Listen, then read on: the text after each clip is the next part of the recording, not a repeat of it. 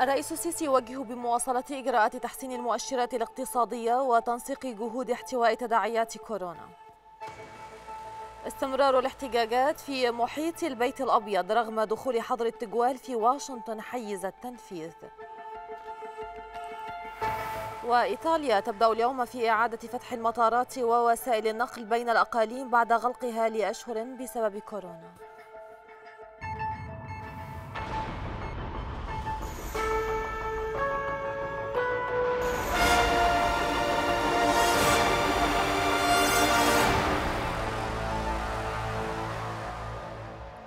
الثالثة صباحا الواحدة بتوقيت غرينتش موجز إخباري جديد. يأتي حضراتكم من القاهرة. أهلا بكم مشاهدينا وفي البداية نرجو من حضراتكم أخذ كل الإجراءات الاحترازية اللازمة ضد فيروس كورونا.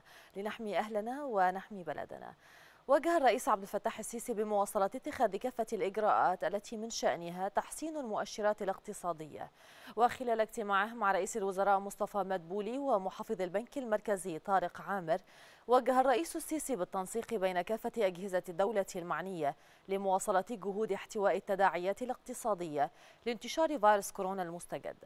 وصرح المتحدث باسم رئاسة الجمهورية سفير بسام راضي أن محافظ البنك المركزي استعرض مبادرات البنك لدعم قطاعات الاقتصاد المصري المختلفة في مواجهة تداعيات فيروس كورونا بهدف مساعدة الشركات في القطاعات المختلفة على تجاوز الأوضاع الحالية.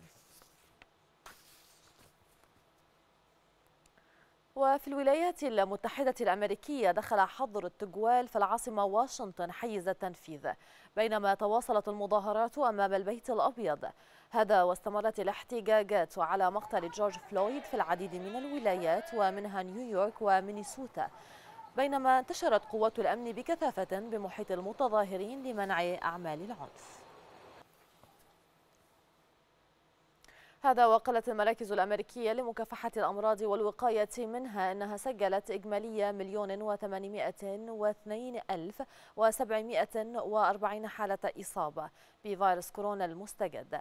وفي بيان لها أشارت المراكز الأمريكية إلى تسجيل 14790 إصابة جديدة فيما زاد عدد حالات الوفاة بواقع 761 حالة ليصبح 105157 حالة.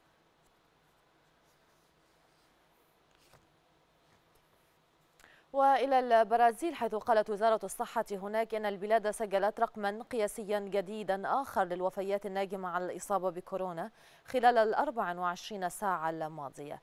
وأفادت الوزارة بأنها سجلت 1262 وفاة جديدة بالفيروس ليتخطى الإجمالي حاجز ال 31 ألف. كما أضافت أن عدد الإصابات ارتفع إلى أكثر من 555 ألفا بعد تسجيل نحو 29 ألف إصابة جديدة. أما في إيطاليا والتي تبدأ اليوم في إعادة فتح المطارات بحسب ما أعلنت سابقا وزيرة النقل والبنية التحتية في الحكومة الإيطالية باولا ديميكيلي. وقالت الوزيرة خلال إحاطة برلمانية إن هناك خدمات أخرى للنقل العام ستكون متاحة ابتداء من اليوم حيث سيسمح بالتنقل بين الأقاليم الإيطالية بالكامل وكذلك إلى خارج البلاد. وذلك بعد توقف هذه الخدمة منذ أشهر في إطار إجراءات مواجهة فيروس كورونا. يعقد الرئيس اللبناني ميشيل عون اليوم اجتماعا مع سفراء الدول الخمس دائمة العضوية في مجلس الأمن والمنسق الخاص للأمم المتحدة لدى لبنان يان كوبيتش وذلك لبحث تمديد عمل قوات حفظ السلام الدولية اليونيفيل.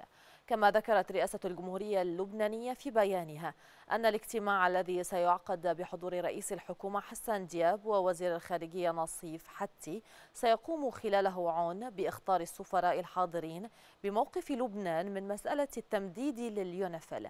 وذلك مع اقتراب بحث هذا الملف خلال اجتماع يعقده مجلس الأمن. كما كانت الحكومة اللبنانية قد أقرت خلال جلستها التي عقدت أواخر شهر مايو الماضي عملية التمديد لقوات اليونيفيل لمدة عام تنتهي في أغسطس من العام القادم.